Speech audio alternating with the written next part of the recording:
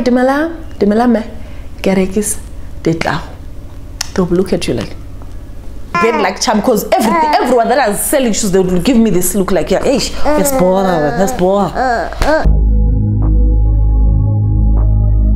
congratulations to all the matriculants who passed you know congratulations. And i'm so excited you guys are going to start a new chapter of life you know. So today i'm going to be sharing my story about varsity. Okay so I was this child who was nailing it in school. Grade one, grade two, grade three, grade four. I remember we had about um, we had about 40 kids in each class and we had five or six classes. Every term would have a, a would have a prize giving day. And I didn't know what was happening. I didn't know what it meant. But I'll be number one. The whole grades, like the whole stream, you guys. Nobody would beat me. I was like the most intelligent girl in class. So um, because of my grades, I thought maybe in life I was going to be um, in the medicine or, you know. But what happened is that uh, my parents, they were fighting. My mother would sleep in the pre. Every day at 8 o'clock, there was a phone call that would come and my mother would cry and my grades started going down up until my mom and my dad divorced, you know all those things. I changed schools maybe four or five times. I was changing, changing, changing. There was no stability in my life. Five or six, six schools. All right. So anyway, I get to matric, stroke at Cambridge. In Cambridge, they call it advanced level. I finished my advanced level. So now it's time for me to go to university. As I go to university, I get the place. I'm offered the, the place at this university, and um, guys i didn't have money for tuition. There was no bursary. There was no you know. So um, i had to go call my uncle. I had to go to my uncle. Travel to another city. Like being african you guys i want you to understand what it means being african. Travel from this from this city to another city. Get to my uncle. Ask him to call my dad to tell him that i have been offered a place who does that? Uh, like you know um, whenever our kids like when my when my daughter graduated like grade ara the grade yes i cried. And people were like you guys are like drama. Why do you cry? We cry because we're so excited about every achievement about every what do you call it that, that word yeah that word. So every milestone milestone achieved. So we cry. So now i'm in university and i think even you guys like my age mates you, you will be excited to see your kids in university. But look at me my story now. I have to go and call my uncle my uncle to call my dad to tell him that i've got a place. So anyway he goes and calls my dad and my dad was like you only call me when you want my money and what what? So i had no one to pay for my fees. That moment no don't make noise. That moment i mean that i'm that girl who loves school. Okay so it's fine. I've got no one. I accepted it and my heart was so broken. I think i've shared this story in my other story time. The time i left i remember leaving that city and i'm going back to the university in the other city uh, there was this song that was, that was being played. It was it's by mrs charamba. It was saying um, mari ndio musimboti we upenyu wangu kunyange ndaishaiwa mari handina kurasikirwa jehovha mupenyu that song it's it's saying um, money is the most important thing in our life. Like we need money in our life. But even though i have i don't have money even though i, I did not find money that's what the, the words of the song was saying. Even though i did not find money i know that i don't have any loss because god because my god is alive. Yo that song is playing and i'm crying. Okay we get to university first term yo this other guy called mr moyo. He paid my school fees mr moyo. Thank you very much. I'm so grateful. But i'm not going to talk about how we repaid mr moyo. Mr moyo wanted his money. Okay let me talk about it. Mr moyo wanted his money back. So i paid my tuition. I think my tuition by the time was maybe let's say about hundred dollars. 100 US dollars, which is about 1,800 rand. And I did not have anyone to pay for me that money. Do you understand me? So we borrowed the money from Mr. Moyo. Mr. Moyo gave me the money, and anyway, we life goes on. Now uh, um, I come to a situation where I was forced to go to this university. I did not want because I knew we could not afford it. There were other oh. universities which were even like government universities. They were even like cheaper, but it was Zim dollar, so I cannot rate it. But it was cheaper. We could afford it. So I'm taken to this private school. Now school fees, they introduced US dollars. So school fees goes from like our Zim dollars right to 500 US dollars.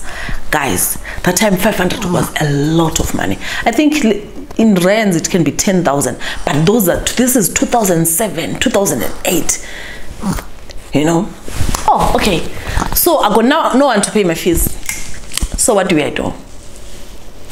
The plan is um, that semester my fees was paid in Zim dollars. Now we are going we're transitioning to US dollars. So what do I do? Somebody tells me go to Botswana and work you work in Botswana, you're gonna come with Pula. Pula is powerful. Then you pay your school fees. Guys, I want you to know that I walked this journey alone. Do you understand me? One. No, I'm not gonna say alone. It's not gonna be fair because my aunt would send groceries. So it was me and my aunt. My aunt would send groceries. Okay, so what what happens now? Um, I get to Botswana I try to work. Okay, before we get to Botswana, I want you to know that I'm coming from a family with a lot of people, ne? A lot of people, people are minding their own business. You even ask, guys, can you at least give me bus fare? They'll be like, I will give you, give you. When it's time for you to go to school, nobody gives you bus fare. And I want you to know that those same people, they call me today and say, hi, Glory, please help us. We've got some financial needs here and there. now people, they know me. That time I struggled. I get to Botswana. We get to Botswana with my aunt, the one who was sending me food. It was me and my aunt. I love that woman. It was me and my aunt. So we get to Botswana, we start looking for for jobs. So at first when I went to boats, I get to Botswana, I was washing clothes for people. I would wash clothes for people, um, like piece jobs. So they give you 20 pula. You guys, 20 pula is powerful. That this year is 2007. 20 pula was powerful. Guys, pulas are strong. Sure, so when you get your money, you keep it. Tomorrow you go, you keep it. You don't even use taxes because the money will finish. When you buy groceries, you buy groceries, you put in the changani bag. You put it right behind the couch. We're renting a place. I think they charge you maybe two pull up a night or something like that. It was cheap. The rent was cheap there. So we we work now. I first time I go, oh, we are given two weeks. So in two weeks you must work. Remember, this is when this is time when school, schools are closed, like varsity is closed, sim break. So we get, we go there. Is it sim break? What do you call it when schools are closed? I can't remember. You guys, uh, it's been 10 to 15 years. I can't remember. So we we get there. I wake. I wash clothes. I make my few 200, 300 pula. Ah, my days are finished. I go back to Zimbabwe. Then I go back. I come back again. This time I'm like, no. Let me at least try to um, buy shoes you see shoes like your flip flops these are very nice shoes made by um goat skin like these are handmade shoes made by goat skin but because we because we do not appreciate this one is drinking milk and it's gonna be making noise because we do not appreciate our economy or maybe being, being um, like because in africa we don't appreciate handmade things hand, handmade things. We don't we don't put value on them. They're not very expensive you know? But they were expensive. So i bring these shoes. Then i met this other lady. We go to Palapye Palapye yes Palapye in botswana. We get to Palapye we started walking door to door door to door selling shoes door to door selling shoes. This lady had 50 60 100 shoes. She will finish them. One two pa pa pa pa pa finish. And she told me that she went to those people the masowe. Do you know masowe guys? Where are people who are like those people of apostolic apostolic church? They they wear white clothes. They worship. So she said she went there and they gave her a lucky charm. Okay. So me, I'm coming Adventist as I am, I don't even have a lucky charm. We would walk the whole day. That lady will sell all the shoes. And I mean, mine will finish. That lady will come three days, the shoes are, are finished. She goes back to Zim to, to get some more. Me, head alone. so I go door to door, door to door, door to door. Nobody buys my shoes. Okay, what do I do now? I think, let me go to the bus rank. So I get to the bus rank. The, these buses would come like these buses in Botswana they're so big. Like you guys those you know that time Tina we had chicken buses and all. They're very big buses. So if you try to say shoes down down outside the bus nobody's gonna see you. So I get inside the bus then I, I I'll be selling ah I'm selling shoes. And the people would give do you know you're so desperate? That moment you're very desperate because you want to sell. You're desperate from one sell you want to sell. And people would look at you like you sell and you were trying to say hi dumelang dumelang me ke rekisa di tla they'll look at you like oh okay. Yeah. They look at you like I don't know you guys. I felt like there was this this charm that I had a bit like charm because everything everyone that I was selling shoes they would give me this look like yeah ish that's uh, boa that's boa uh, uh, okay I tried to sell the shoes. Nobody buys the shoes from the bus. Okay now I go to door to door. Door to door door to door. Looking for, looking what? Trying to sell shoes. Ah! This life you guys. The most painful thing is I'm a child with both parents but I'm trying to find the school fees Ah. anyway i wish i could get a sponsor somebody who was gonna sponsor me and pay my, my tuition. You, have you ever been poor so that everyone in life they know that this one is struggling? So that now when they see me i remember somebody saw me they saw me driving a car. Okay this is not just a car an suv they saw me driving suv and they were like the, that person was heartbroken because that that guy in university he, he had like his fees was paid on time he had everything ne? he finished the degree he got the job did he get the job? I think he worked yeah he got the job. He saw me driving that car. His heart hello. He, he, he later called and said my heart was like he felt so much jealous. How can she drive an suv when she was this poor girl okay so remember my song i said the money is the um, like pillar of your life. Is the song. My stop making no you're making noise with money is the pillar of life. If you don't have li- money you have not lost anything because god is alive. God is alive. I'm telling you. Today if you do not have money and you need this money for your tuition or what what you never understand. You don't know how your life will take turn. Life is not life is not like a nigerian movie where it's predictable. When you go you get to you, you get there you are the most intelligent girl in class you try to find anyone to pay fees nobody pays your fees so you're going to struggle. That's not life. You never struggle. Never as long as god is alive. Anyway, I walking door to door, door to door, trying to sell these shoes. Nobody sell buys the shoes. I remember that day I was so hungry. I walked, guys, Palapye is big. I walked from the junction. I don't know if you guys know I- those those in Botswana, you know. I walked from the junction right in, right to the I think it's, Kuro or Spark School, right at the end of the village. I'm walking, I'm walking. Then I get to this preschool. It's an Adventist. No, it's not a preschool. I get to this place. So this place, um, it's a house, a council, town, town council houses. I get there. I'm like, "Du Coco, Coco, Dumela. So as I'm approaching Coco, there were kids outside. They were like, Kwere, Kwere, Kwere, Kwere, hey, Kwere, Kwere. Hey, okay right at the moment i don't want i, I okay now um, it doesn't hurt me but i it really broke my heart they're calling me kwere kwere you, when they see you they know that there is a kwere kwere coming. Okay. Anyway i don't blame those kids. It's it's us adults who instill these things in kids. Kids are, bro- are born with white pages. Their brain is white. Even i remember my neighbor my neighbor's child is white. My daughter and my neighbor they play together. They don't see color. They don't see color.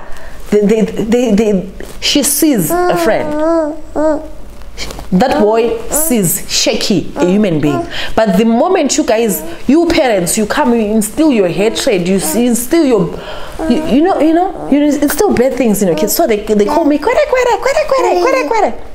I get there. I'm like Domela ke batla tiro. I tiro ai then I left. Yo! Mm. So basically I stopped selling those shoes because ah. I'm a man. I stopped selling those shoes because nobody was buying them. And remember, I have to raise 500 US dollars. Who's gonna help? Nobody. I got a relative that is out of the country that you can think they can help you. Nobody. Nobody. So ah, we come back. Then I go back to my piece jobs again. You're making noise. I go back to my piece jobs. Aye man, so I go back to my to my piece jobs. I start doing washing clothes, washing clothes. But remember, this money is a lot. I wash clothes, I wash clothes, I wash clothes. Ah, I raise maybe two or three hundred pula or four hundred pula. But I want five hundred dollars. So what do I do? My aunt tells me that. Mm, ah ah ah. My aunt tells me that you know what, girl, what you can do. This is a lot of money what you can do is go to the farmer to the vet veterinary. they sell injections for cows. So go there. Don't make noise. Go there and buy injections for cows.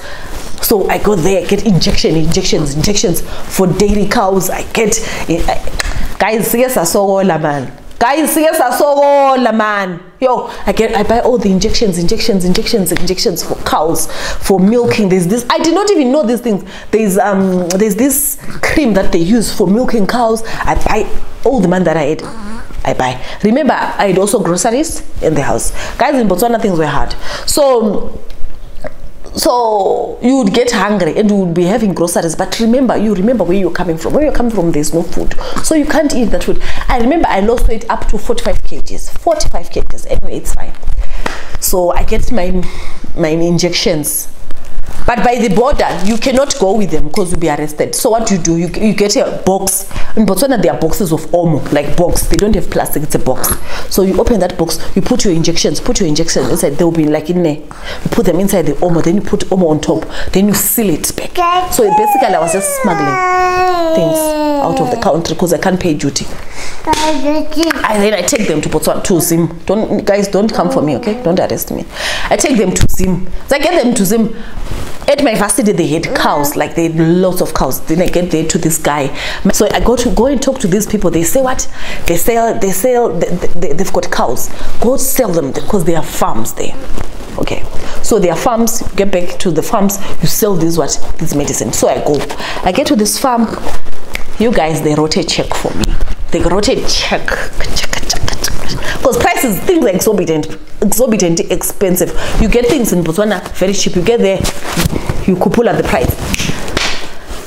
I i get there. They wrote a check for me. I go and pay my fees. I paid my fees my tuition. Then i'm in, enrolled. I've got food. I've got um my, my my my paycheck my check I saw I did I did a deal I managed. And I, I remember when I bought all the injections I, I, I remained with bus fare but the taxi that I got onto they said we're to take you to Bulawayo when we get to the border when you get to Francistown they said I Tina we're not we're not we're not go going stop doing that. Not Fra Francistown by the border. When you get to the border they say I we can't take you any any further. I'm left with 20 pull I get on the other side ah, on the other side things the Zim dollar would have changed. There are so many zeros guys. There are so many zeros. They're like I see 20 pull is not enough. Give us some other groceries. So I gave them some other groceries. Then I found my way to where? To go Bulawayo. Get to, to Bulawayo. Ah, when I'm in Bulawayo I'm home. I found transport. I found transport. Then I get to I went to university so basically my life was a life of struggle. I don't want to lie. No Mary stop making noise. I don't want to lie. My life was a life of struggle. I struggled to go to varsity. I struggled and I had to see myself. I, I remember there was a semester when I went to, to, to varsity without even Vaseline. Hey, Uri, you'll be coming from people they'll be like you're going to school. Yeah sissy go to school bye. I have nothing that moment you're thinking so what am i gonna do? You get to varsity then you're told ah your fees has been paid. Uh. guys i said in the beginning of the video money is the pillar of our lives. We need money. But if you don't get money i have not lost anything because jehovah is alive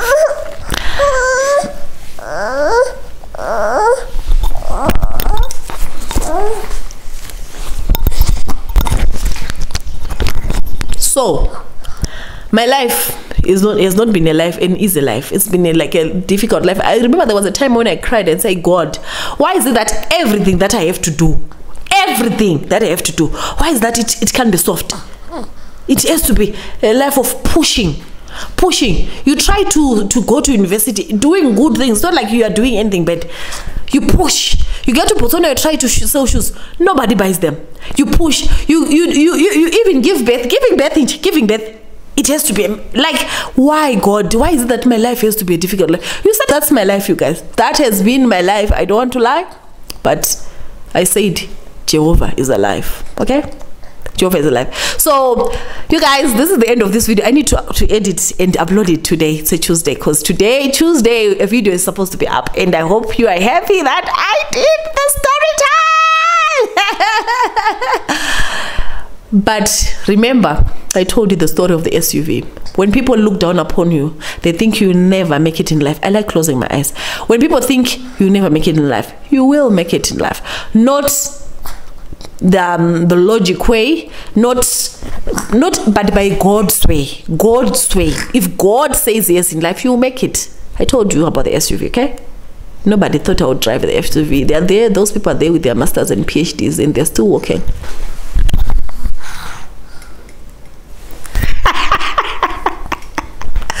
Bye